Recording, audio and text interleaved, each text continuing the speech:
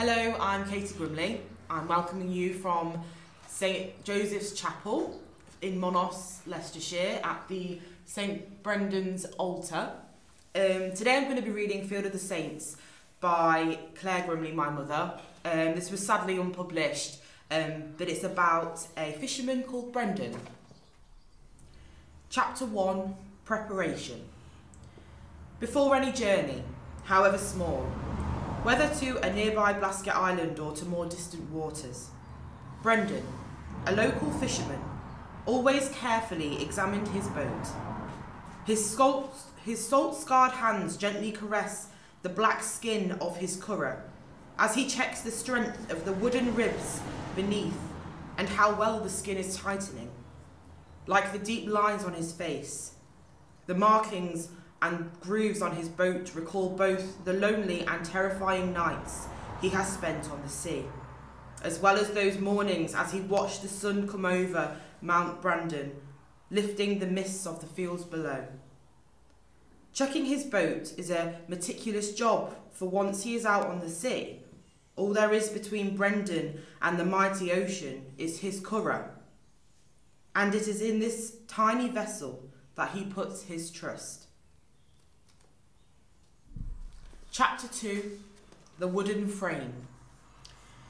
There are many ruined oratories scattered across Ireland, similar to this at Kilfountain. It would have been in the prayerful silence inside such oratories that fishermen would have prepared themselves for the journeys they were to undertake. It would have been in such oratories that wives, mothers, and children would have said their prayers of safekeeping whilst their men were on the sea. The making of the curragh is never an easy task, not even for an experienced sailor like Brendan. It is a trade that few people can learn, as it is mostly done in the head, so to speak. Brendan sat and thought about how he was going to make it. And only when he had thought it all out was he ready to begin. Brendan began to picture the boat he would make. He saw his hands bending hard oak strips into two gunwales and the repetitive knocking as he fastened them with the wooden pins. He imagined shaping the gunwales into the familiar banana shape of the curragh. Then he lifted the boat upside down so that it could be built from the bottom up. The cream-coloured ash slats were then positioned, forming the ribs and the backbone of the curragh. Thinner slats were interleaved along the length of the curragh, copying the knotwork engravings he had seen on fine silver flasks and bracelets. Brendan recalled the time when he had crouched he would crouch under the upturned frame of a vessel and he had helped his own father wrap. Tighten and knot leather thongs at every section where the ash overlapped, strengthening the hull against the ferociousness of the sea. Brendan smiled as he saw his own dear mother's face when he and his father had returned home, smothered in the foul, foul-smelling, sticky wool grease that they used to waterproof their vessels. Brendan remembered all of this and knew that he was ready to build his boat. And he knew that as he built, his father would be at his side, watching and aiding him in his every move. Chapter 3 Tending to the Skin. Fitting the skin onto the curragh is perhaps the most difficult and time consuming task of all. Each hide must be overlapped by a couple of inches, and a strong double line of thread is stitched along every joint. No stitch can be too loose, short or long, and it must be the correct spacing from its neighbours. If every stitch is not perfect, it must be mercilessly ripped out. As he worked, Brendan was only slightly aware of the increasing pain in his shoulder. As in one sharp jerk, he pulled the thread taut between stitches. Pulling on the thread also dug deep into the soft, fleshy parts of his palms. Blood ran from his hands down the flax and dripped onto the dark hide he was working on. Brendan only slightly noticed. It was this small sacrifice for the curragh that was already such an important part of his life, But this was slow, hard, and tiring work. When Brendan stood up, after hours of work, kneeling on the cold, damp floor, he stretched and in a gush felt the cool air all around him. He looked down at his finished curragh, dark and shining in the ebbing sunlight. Tomorrow Brendan would collect some water from a holy well and carefully pour it into a small glass bottle and store it inside the curragh, as he did before every journey. Brendan hoped that tomorrow God would send him fair weather and a helpful breeze to guide him on his way. Chapter 4 Hoisting the Sails. Early in the morning, whilst the light was still pale and translucent, Brendan and his brother, Padre, in one simultaneous move, lifted the upturned curragh, balanced it on their shoulders, steadied their arms, and began the long walk towards Brandon Creek. As they walked, their eyes saw only the stony ground beneath their feet, and the birds from above saw a strange dark object with four legs getting closer to the water's edge. Each man kept in time with the other, and underneath his breath, Brendan muttered the little prayer that his father had taught him. Dear God, be good to me. The sea is so wide and my boat is so small. Brendan lost count of the many times he said it, and when he suddenly when suddenly they had rounded the sharp left bend and were on the final gentle hill to the creek, Padre shouted, Heave! And together they laid the curragh on its back onto the grey jetty. It was now quite light and the waves were catching the sun as she began to dance on the water. Brendan had always loved the stillness of the creek. It seemed to show the respectful silence that these beautiful vessels deserved, and they slipped quietly into the salt water, or as they rested on the grass nearby. Brendan had almost forgotten why he was here, and was suddenly aware that Padre was looking at something behind him. Brendan turned and saw his mother running down the lane towards them. Brendan was so shocked he had to steady himself with a hand on the boat. You didn't think you would leave me without a proper, proper sending off, did you? His mother asked. Brendan remained silent. He watched as his mother sprinkled some holy water over the boat and prayed that God, the Son, and the Spirit would guard him and watch over him until he had returned. She made the sign of the cross and embraced Brendan, her oldest son.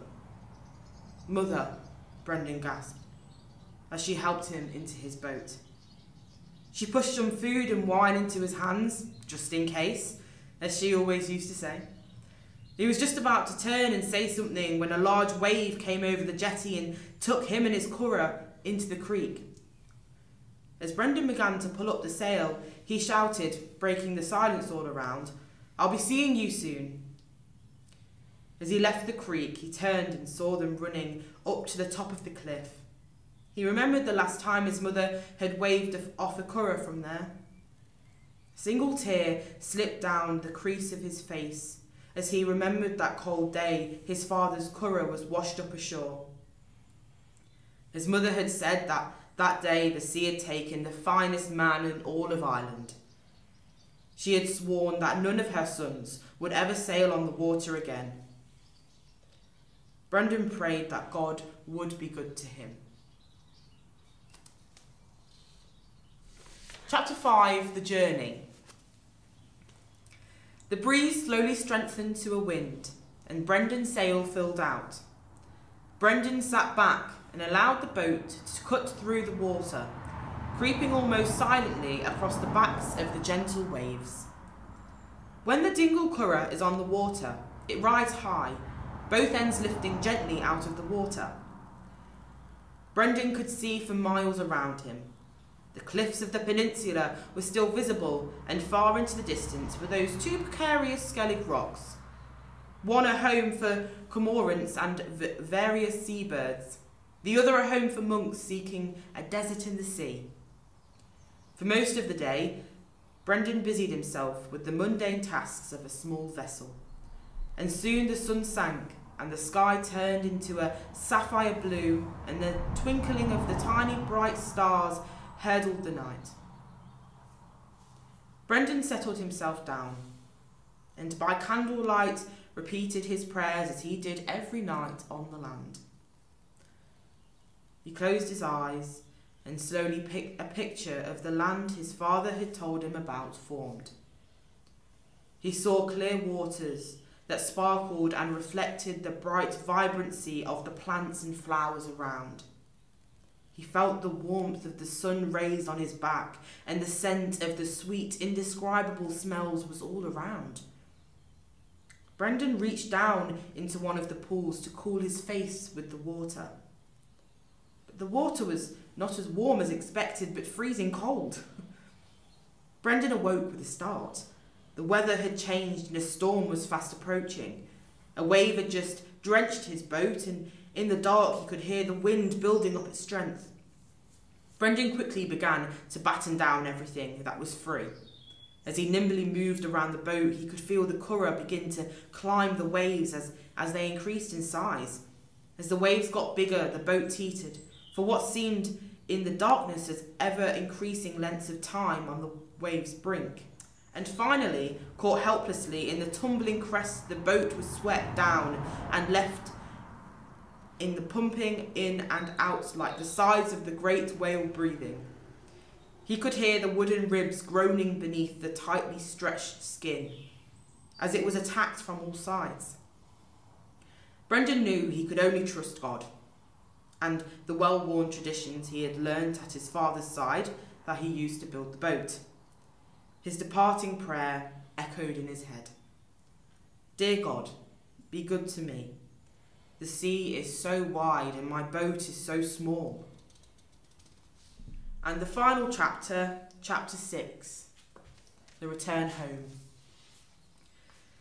As Brendan saw sight of the land, he began to row, pushing his muscles to their limits so that he could no longer feel his shoulders or forearms and only kept rowing because of the rhythm, rhythm he strictly kept. Although he was near enough to the peninsula to see Brandon Creek, he was still far enough away that a good hour of rowing only brought him close to the creek's entrance. Brendan paused for a moment to get his breath back. His chest rose and sank as he listened to the calls of the gulls. He secretly thought that he was getting too old for this. At 60 years of age, he had already used up most of his seafaring luck. Perhaps this would be his last journey. His mind flicked back to his childhood days when he had sat at his parents' friend's house and listened quietly to his father retell the same story hundreds of times. The story of when he had found paradise, that mythical land that all Irish folk wanted to go in search of. He could have only been five years old when he decided that he too would go in search. And from then on, he paid close attention to every detail of what his father had said and did. It took some very important to make the young Brendan leave his father's side. And then, when he was still only a young man, his father had died. And there was still so much unlearned and unsaid and after all these years he had not found that one desire. That land of paradise was just still out of reach. Perhaps it was time to give up.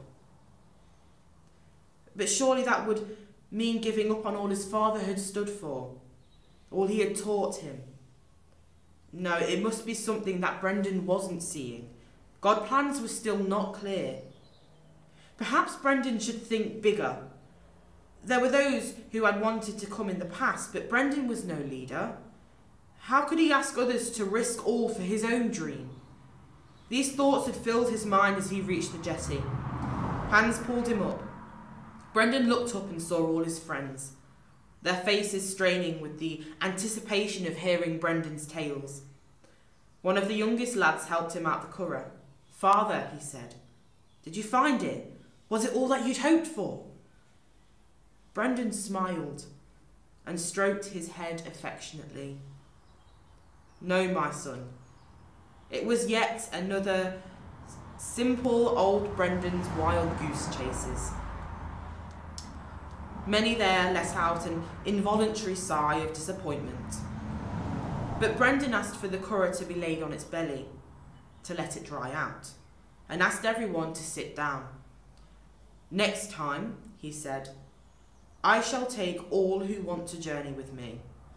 For I know that before my next birthday, God will show me his blessed isle, but not only to me, but to all who long in the hearts to see it. And with that, Brendan stood up and stretched and thanked God for bringing him back to his dear land and to his even dearer people.